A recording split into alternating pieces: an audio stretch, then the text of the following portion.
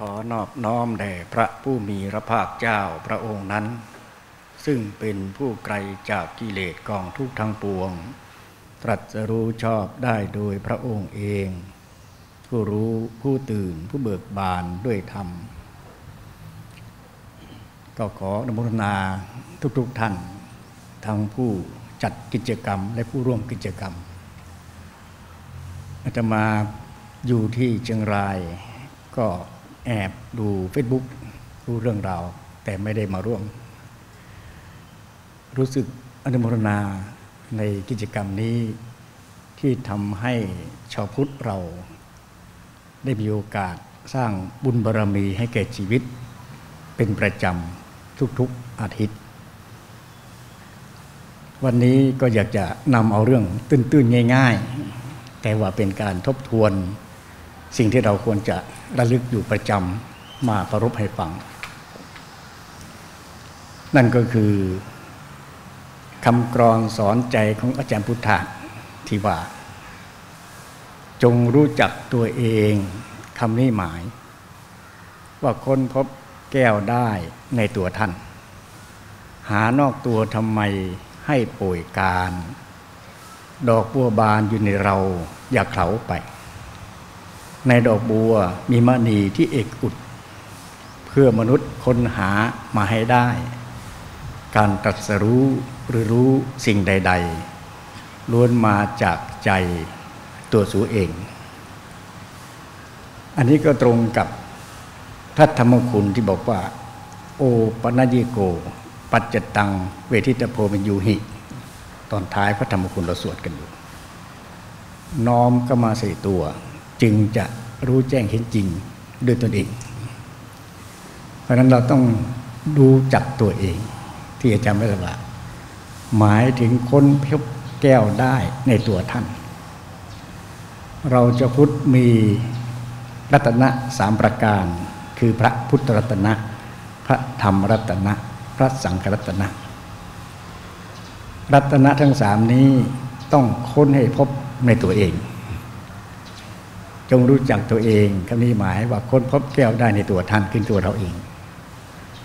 หานอกตัวทำไมให้ป่วยการ พระพุทธพระธรรมพระสงฆ์นอกตัวนั้นไม่ใช่อัตนตรัยที่จะพึ่งได้ ต้องค้นให้พบพระรัตนตรัยในตัวเรา ดอกบัวบานอยู่ในเราอย่าเขาไป ดอกบัวบานนี่ก็คือ ที่พระเจ้าตรัสว่าจิตเดิมประพัดสอนเศร้าหมองแล้วด้วยกิเลสที่จรมาทางตาหูจมูกลิ้นกายใจ แล้วก็ผ่านไปปุดูชนผู้ไม่ได้สดับไม่รู้ความจริงคนนี้ จิตตะภาวนาย่อมไม่เกิด ส่วนสาวกของพระเจ้าได้สดับว่าเดิมนั้นจิตมันเกลี้ยงเกลา ความเศร้าหมองเป็นสิ่งแปลกปลอมมาทางตาหูจมูกลิ้นกายใจแล้วก็ผ่านไป รู้ความจริงนี้แล้วจิตตะภาวนาย่อมเกิด เพราะนั้นดอกบัวบานก็คือจิตเกลี้ยงเกลาในจิตของเราทุก ๆ ดวงมันมีความเกลี้ยงเกลาเป็นพื้นฐานคือประพัสสอนในดอกบัวมีมณีที่เอกอุดมณีตัวนี้ไม่ได้หมายอย่างอื่นแต่หมายถึงว่า พระนิพพาน นิพพานก็คือความสงบเย็น เพราะดับไฟราคะโทสะโมหะ สนิทไม่มีชื่อเหลือ นั่นคือนิพพานอาจจะมาใช้ภาษาสื่อง่าย ๆว่า ติดใจ ขัดใจข้องใจ ไม่มีความติดใจ ไม่มีความขัดใจ ไม่มีความข้องใจด้วยเรื่องใดๆนั่นคือนิพพาน ไฟ ราคะโทสะโมหะดับ ความร้อนของไฟคือทุกข์ก็ไม่ปรากฏ ไม่มีความร้อนก็คือเย็น นิพพานคือเย็น เย็นเพราะดับความติดใจ ดับความขัดใจ ดับความข้องใจเรื่องต่างๆ ที่รับรู้ทางตาหูจมูกลิ้นกายใจ เพราะนั้นเมื่อรู้จักจิตประพัดสอนแล้ว จิตภาวนาคือการ อบรมจิตระวังจิต ไม่เกิดความติดใจขัดใจข้องใจในเรื่องใดๆแค่นั้นคือจิตภาวนาย่อมเกิด แล้วก็จะพบแก้วมณีที่เอกอุดที่มนุษย์พึงค้นหามาให้ได้ มนุษย์นี่คือผู้มีใจสูง ใจสูงนั้นท่านกล่าวว่า มีฐานรองรับใจ คือศีลห้า เราสมาทานศีลกันไปแล้วนะศีลห้าเป็นฐานรองรับใจทำให้เป็นมนุษย์ ถ้าไม่มีศีลห้าไม่ใช่มนุษย์ มนุษย์เท่านั้นที่จะพึงค้นหาหมายได้ ค้นหาแก้วมณีคือความไม่ติดใจ ไม่ขัดใจ ไม่คลองใจด้วยเรื่องใด ๆ อาจารย์มรชาจึงบอกว่า ผัสสะโง่ ก็คืออวิชชาสัมผัสทำให้เกิดทุกข์ ผัสสะฉลาด คือวิชาสัมผัสทำให้พ้นทุกข์ ถ้าเราอบรมจิตเรียนรู้ชีวิตให้ท่องแท้ตามความจริง ว่าจิตนั้นมันเกลี้ยงเกลาโดยพื้นฐานความสกปรกเป็นสิ่งแปลกปลอมมา เราเพียงแต่ระวังจิต อย่าให้มันสกปรกเศร้าหมองเมื่อมีผัสสะก็คือได้เห็นรูปก็อย่าให้เกิดเศร้าหมอง ได้ยินเสียงก็อย่าให้เกิดเศร้าหมองดมกลิ่นอย่าให้เกิดเศร้าหมองลิ้มรสอย่าให้เกิดเศร้าหมอง ถูกต้องสัมผัสอย่าให้เกิดเศร้าหมอง รู้อารมณ์อย่าให้เกิดเศร้าหมอง รักษาจิตประพัดสอนไว้นั่นคือ อบรมจิตหรือจิตตภาวนา เพราะฉะนั้นมาพูดเสมอว่า อาลาระดาบท อุตกาดบท จิตภาวนายังไม่เกิดคำว่าจิตภาวนาไม่เกิดคือว่า ไม่ระวังจิต เมื่อให้เกิดอุปาทานขันห้าจิตภาวนาคือระวังอย่าให้เกิดความยึดมั่นขันห้าว่าเป็นตัวตน ผู้ที่ฝึกจิตสมาธิสูงสุดมันมีความยึดมั่นในขันห้าอยู่ ไม่เห็นโทษของความยึดมั่นถินห้าเพราะฉะนั้นจึงมีกู้อุปทานขันห้าฝึกจิตฝึกใจห่างไกลจากเสียรบกวนลึกซึ่งถึงที่สุดมันก็ยังมีกูอยู่ดี ไม่ละอุปาทานกันห้าคือจิตตภาวนายังไม่เกิด คือไม่รักษาความประพัสอนที่ไม่มีตัวตนมีอยู่ก่อนแล้ว นั่นคือจิตภาวนายังไม่เกิดคำว่าคือมนุษย์ควรค้นหามาให้ได้ การตัดจะรู้หรือรู้สิ่งใดๆล้วนมาจากใจตัวสูเองอาตมาชอบใจคำพูดของหลวงพ่อกรอมห ลวงพ่อกรอมเนี่ย ท่านอยู่ทางใต้นั่นนะไปเยี่ยมท่านประกาศท่านนะท่านท่านบอกว่า ตรัสรู้คือตัดกิเลสทิ้งแล้วก็รู้ เป็นภาษาธรรมะ ตัดกิเลสทิ้งแล้วก็รู้นั่นคือตรัสรู้อาตมาฟังท่านพูดโอ้ท่านพูดความจริงที่ท่านสัมผัส และควรจะสัมผัสอย่างท่านด้วย คือปฏิบัติตามท่านสอนนะ ตัดกิเลสทิ้งแล้วก็รู้นั่นคือตัดสรู้ภาษาของหลวงพ่อกรอมท่านสอนนั้นเราจะละกิเลสได้สิ้นเชิงนั่นคือตัดสรู้หรือรู้สิ่งใดๆล้วนมาจากใจตัวสัวเอง ถ้าเราเฝ้าดูใจตนเอง เราจะรู้ธรรมะคือความจริงที่ทำให้เกิดทุกข์และดับทุกข์พระเจ้าตรัสรู้อริยสัจสี่ที่ใจ จงรู้จักตัวเองคำนี้หมาย ว่าค้นพบแก้วได้ในตัวท่าน ต้องรู้ให้ค้นให้พบว่าพุทธรัตนะมันคืออะไร ธรรมรัตนะมันคืออะไร สังขรัตนะมันคืออะไร ที่ใจเรามันคืออะไร พุทธังสารนังคัจฉามิที่เรากล่าวเมื่อกี้ข้าพเจ้าถือเอาพระพุทธเจ้าเป็นสารณะเป็นที่พึ่ง พระเจ้าจงมีตนเป็นที่พึ่ง คือมีธรรมะเป็นที่พึ่ง มีธรรมะเป็นที่พึ่ง คือมีตนเป็นที่พึ่ง เพราะนั้นพึ่งพระพุทธก็คือพึ่งตนเอง แต่หมายถึงว่า รู้ พึ่งพระพุทธคือพึ่งความรู้ที่ถูกต้องของตนเอง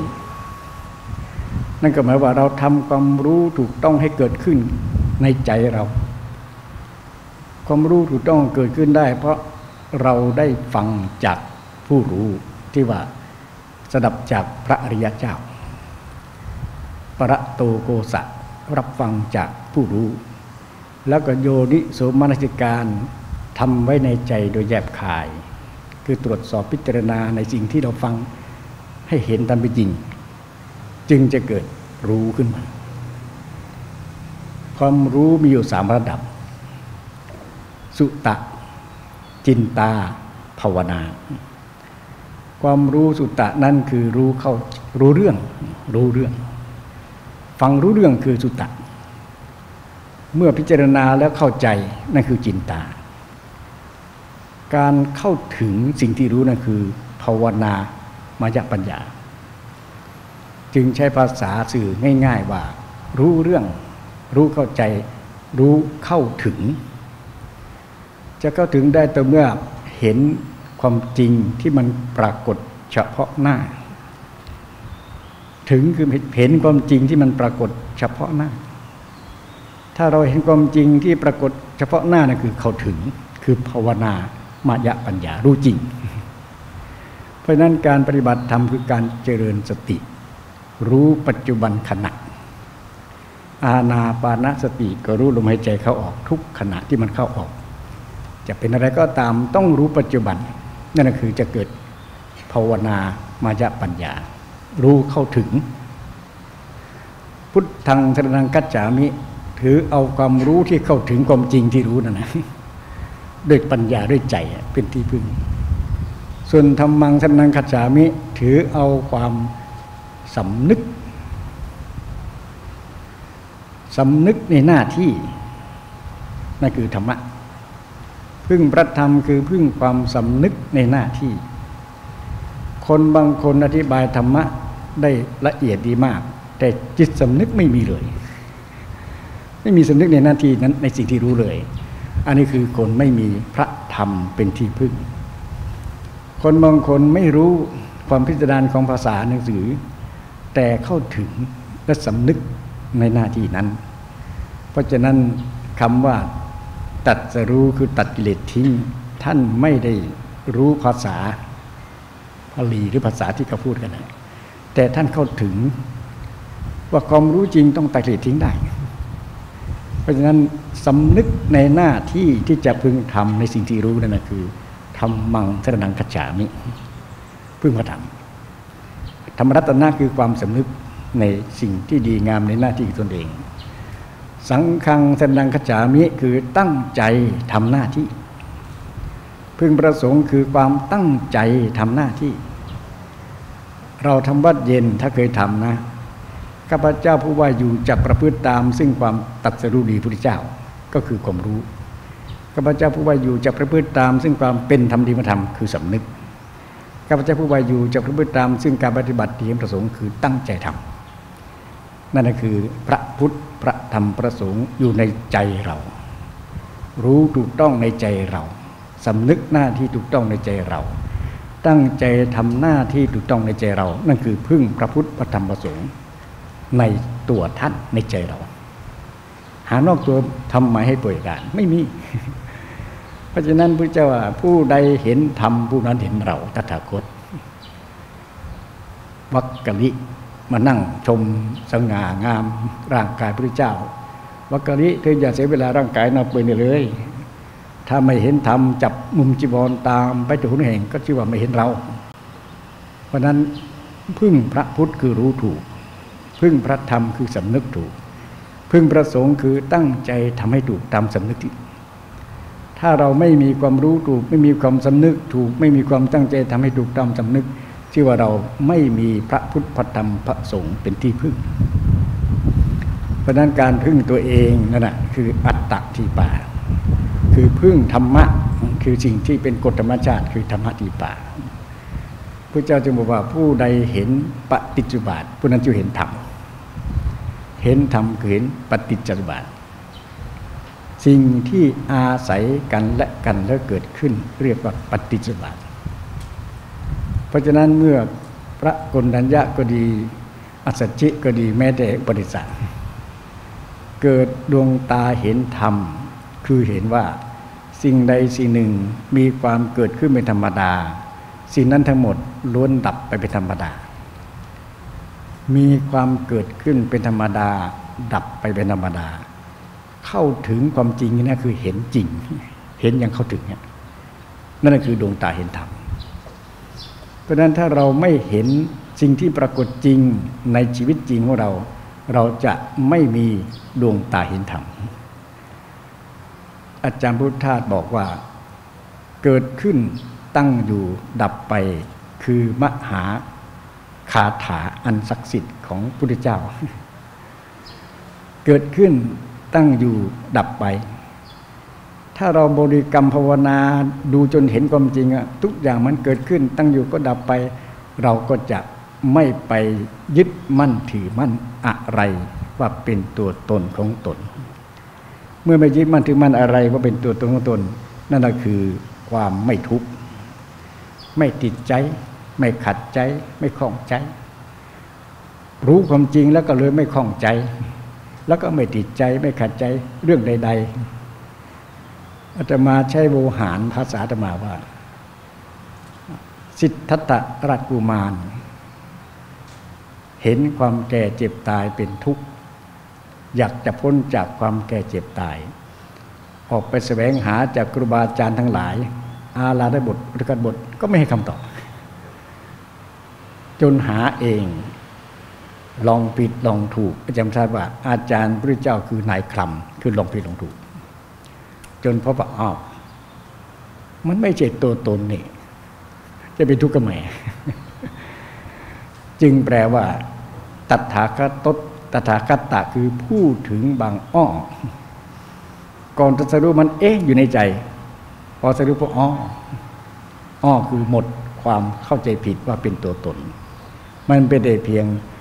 สิ่งที่อาศัยกันและเกิดขึ้น แล้วก็ดับไปเกิดขึ้นดับไป เห็นความจริงที่มันเกิดขึ้นแล้วดับไป จึงไม่มีตัวตนจะต้องแก่ ไม่มีตัวตนจะต้องเจ็บ ไม่มีตัวตนจะต้องตาย จึงเรียกว่าผู้ถึงบางอ้อคัตตะแปลถึงตัถาเช่นนั้นเอง ก็อ้อถึงความจริงกันหน่อยตถาคตนั้นถ้าเรารู้ความจริงสำนึกหน้าที่ในความจริง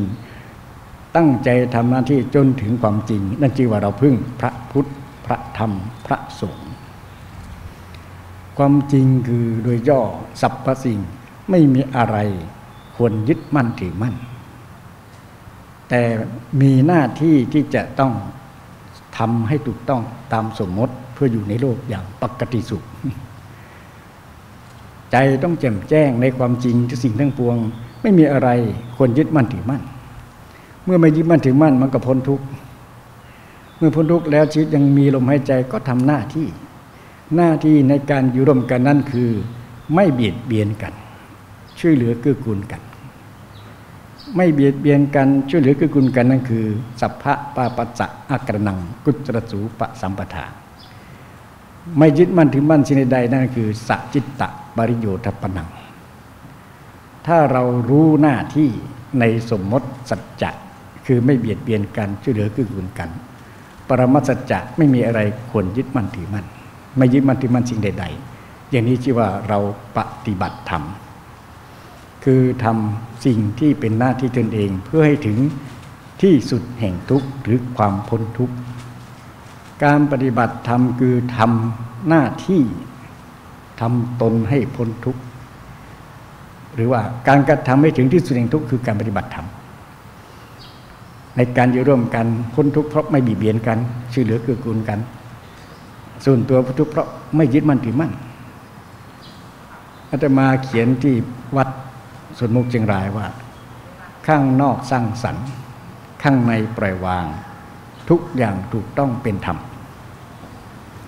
ข้างนอกสร้างสรรค์ก็คือไม่เบียดเบียนกันช่วยเหลือเกื้อกูลกันนั่นสร้างสรรค์ในจิตในใจปล่อยวางคือไม่ยึดมั่นถือมั่นทุกอย่างถูกต้องเป็นธรรม ถ้าจะเอามาเปรียบเทียบหรือมาสงเคราะห์กับโอวาทปฏิโมกข์ก็คือสัพพะปาปัจจะอะกระนังกุตรสูปสัมปทาข้างนอกสร้างสรรค์สจิตตประโยชน์ปนังข้างในปล่อยวาง เอตังพุทธานาสสนังทุกอย่างถูกต้องเป็นธรรมถ้าเรารู้ถูกชื่อว่ามีพุทธังสรนังกัจจามิ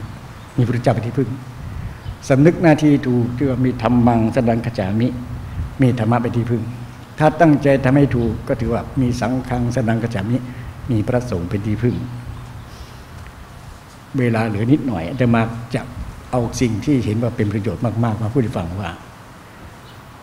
พระเจ้าบอกว่า อุปาทานขันห้าเป็นสิ่งที่ควรกำหนดรู้นั่นคือทุกข์อุปาทานขันห้าเป็นสิ่งที่ควรกำหนดรู้อ วิชาภวะตัณหาเป็นสิ่งที่ควรละวิชาวิมุตเป็นสิ่งที่ควรทำให้แจ้ง สมถะวิปัสนาเป็นสิ่งที่ควรเจริญทำให้หนีเป็นขึ้น สมถะวิปัสนาก็คือการกำหนดรู้อุปาทานขันห้านั่นแหละแล้วก็ละอุปาทานขันห้าที่ว่าจิตตภาวนาย่อมเกิดคือ สมถะวิปัสนาเดียวกัน แล้วจะมาแปลให้เข้าใจง่าย ๆ ว่า ความยึดมั่นขันห้าเป็นสิ่งที่ควรรู้ โง่อยากเป็นเป็นสิ่งที่ควรละ หายโง่หมดอยากเป็นสิ่งที่ควรทำให้แจ้งกำหนดรู้ด้วยชัดเป็นสิ่งที่ควรเจริญ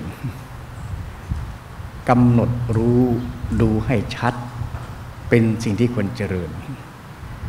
ก็หมายว่ามีสติในการผัสสะทุกครั้ง อย่าให้เกิดกูขึ้นในใจ ให้มีแต่การรับรู้เฉยๆสมถะคือกำหนดรู้วิปัสสนาด้วยชัด ด้วยเห็นผัสสะทางตาหูจมูกลิ้นกายใจทุกครั้งที่มันเกิดขึ้น ชัดเจนว่ามันไม่ใช่ตัวตน เพราะมันเกิดขึ้นตั้งอยู่ดับไป ถ้ารู้ชัดผัสสะ ว่าไม่ใช่ตัวตนผัสสะนั่นก็จะเป็นสัจจะฉลาด คือไม่ยึดมั่นถือมั่นแต่ถ้าเผลอว่าเป็นตัวตนก็เป็นผัสสะโง่